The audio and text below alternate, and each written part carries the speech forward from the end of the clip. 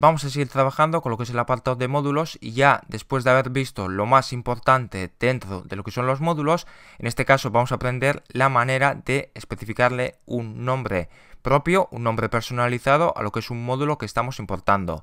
Entonces tenemos esa opción de añadir un alias que queremos y lo tenemos que asociar mediante lo que sería la palabra reservada as. Entonces tenemos que hacer lo que sería en este caso import el nombre del módulo, esto no lo podemos modificar, si el módulo en este caso tenemos lo que es info, tenemos que llamarlo info, import info as alias y en el alias podemos poner la información que queramos, en este caso tenemos info, podemos añadir lo que sería as inf, inf, podemos añadir información, podemos añadir el nombre que nosotros queramos. Esto es como si fuera una variable y estamos especificando el nombre de esa variable. Vale, entonces tenemos aquí lo que sería el módulo info con lo que sería autor y lo que sería el nombre del paquete. Y luego tenemos aquí lo que es el módulo grid para lo que es el saludo y teniendo en cuenta estos dos módulos, si los pasamos al programa, tenemos aquí lo que es import grid, aquí estamos haciendo referencia a lo que sería este módulo que tenemos aquí y le estamos asignando en este caso el nombre de lo que es el alias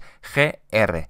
Ahora entonces, a partir de ahora podemos utilizar lo que sería este nombre para poder hacer referencia a lo que sería esta función que tenemos aquí. Y aquí ya veis que tenemos gr.sayHello y estamos pasándole lo que es el argumento announce para que nos aparezca lo que sería la información hello announce. Y estamos haciendo lo mismo con lo que es el apartado de lo que sería en este caso la información. Tenemos aquí import info, que es el nombre del módulo que tenemos aquí, y le especificamos el nombre del alias que será in.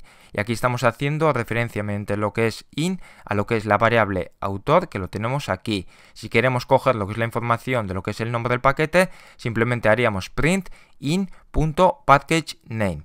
Con esto ya tenemos en este caso claro esto, vamos a ir a lo que es la práctica donde hemos estado trabajando anteriormente con lo que serían los diferentes imports y vamos a darle un alias a cada import con el que estamos trabajando.